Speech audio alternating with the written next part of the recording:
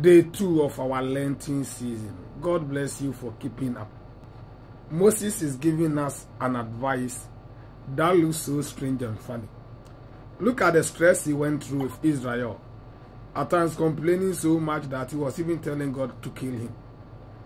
At times becoming so exhausted that he has to be advised by Jethro. But at the end of life, Moses is telling people that it is worth trusting God. It is worth choosing God. It is life, it is joy, it is peace to choose God.